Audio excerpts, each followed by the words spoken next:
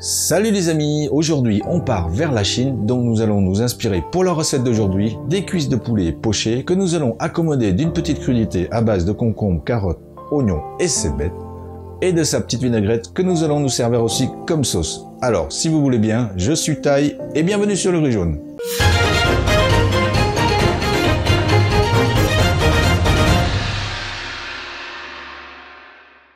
Il nous faut des cuisses de poulet, de l'oignon, de l'ail, du gingembre, de la carotte, du piment, de la coriandre, de la cébette ou oignon botte, du concombre, des graines de sésame, de la sauce de soja, de l'huile de sésame, du vinaigre de riz ou blanc, du vin de cuisine de Shaoxing, du sel et du poivre. Pour les quantités, reportez-vous à la description. Nous, on y va tout de suite pour la petite préparation. On commence avec la cuisson des cuisses de poulet en séparant la partie blanche de la branche de cébette, retailler celle-ci en deux, puis trois grosses tranches de gingembre que nous allons ajouter à l'eau bouillante, ainsi que le vin de Shaoxing et une grosse pincée de sel. Mettre les cuisses,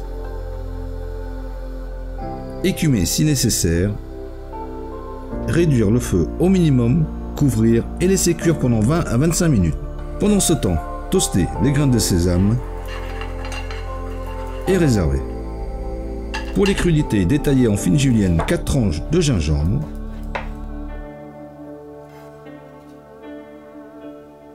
Faire la même chose avec le reste de ces bêtes avec une longueur de 5 cm environ.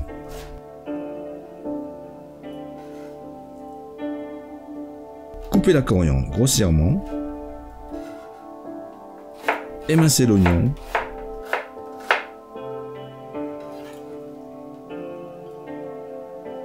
la carotte elle aussi en fine julienne,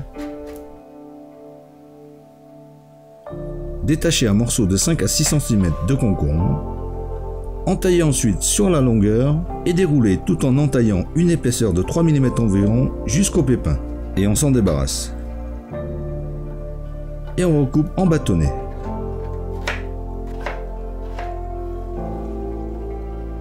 On retire les graines du piment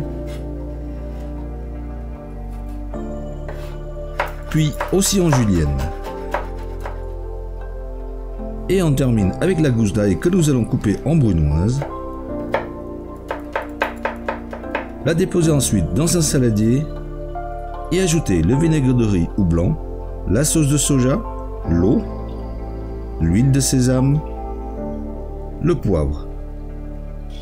Bien incorporer l'ensemble, puis ajouter les crudités et là aussi bien mélangé et réservé. Après le temps de cuisson, on retire les cuisses de poulet et on les laisse refroidir 3 petites minutes. Les découper en morceaux si vous le souhaitez.